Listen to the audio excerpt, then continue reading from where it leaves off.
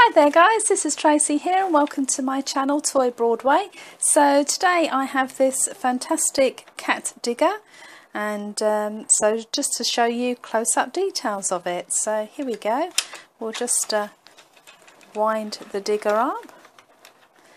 This moves quite easily and we'll wind it back down.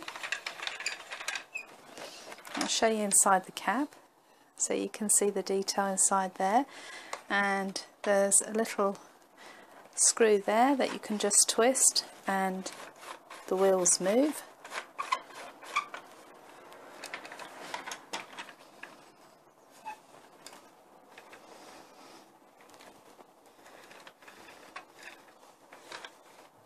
So there you go, a caterpillar digger uh, ready for some construction or farm work.